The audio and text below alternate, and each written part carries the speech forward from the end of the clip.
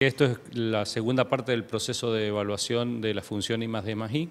investigación, desarrollo e innovación, eh, que está comprometido por parte del MINCID y Universidad a llevarse adelante eh, desde el año pasado que empezó con la autoevaluación,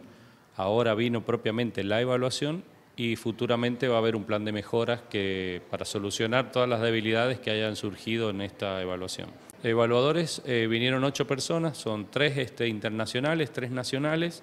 y dos técnicos de CONICET que van coordinando todas las reuniones. Nos van a dar un, pantallazo de cuáles son las fortalezas y debilidades que después se, se podrá profundizar en un documento, pero una visión de cómo ven la universidad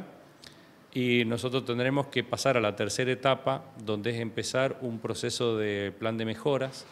para tratar de apalear esas debilidades y con un cronograma en el tiempo de cómo se van a ir este, desarrollando